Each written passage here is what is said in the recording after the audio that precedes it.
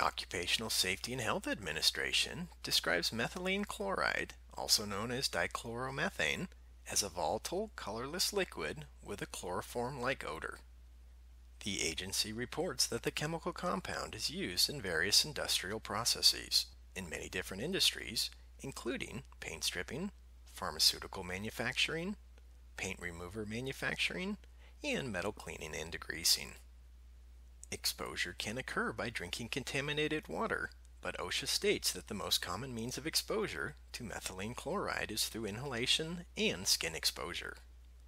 OSHA considers methylene chloride to be a potential occupational carcinogen, and the World Health Organization has determined that it may cause cancer in humans. Several years ago, OSHA and NIOSH published a hazard alert about methylene chloride hazards for bathtub refinishers. The document states that if workers smell methylene chloride, they are being overexposed because methylene chloride cannot be smelled until the levels in the air are higher than OSHA's permissible exposure limits. However, the human body can quickly become desensitized to the smell of methylene chloride, and workers may be overexposed even if they can no longer smell it.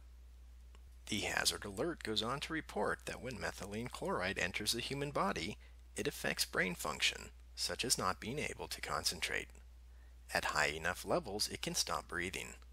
At lower levels, methylene chloride exposure causes dizziness, fatigue, headaches, and nausea. Exposure can also cause eye, nose, and throat irritation. Prolonged skin contact may cause irritation and even chemical burns. The specific effects of methylene chloride exposure can vary depending on several factors, such as the amount of methylene chloride the worker is exposed to, how long the exposure lasts, and whether the worker has a higher susceptibility due to other conditions. These are just a few things to know about occupational methylene chloride exposure concerns.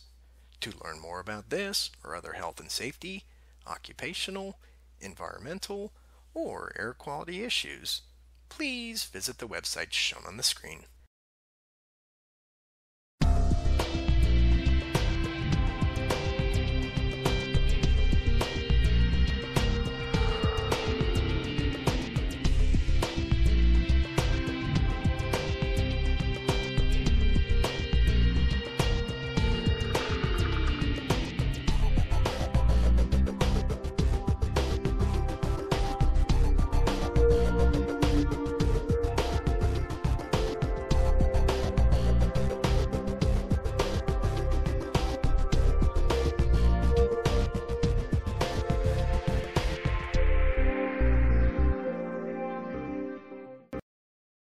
IAQ TV, the place to be.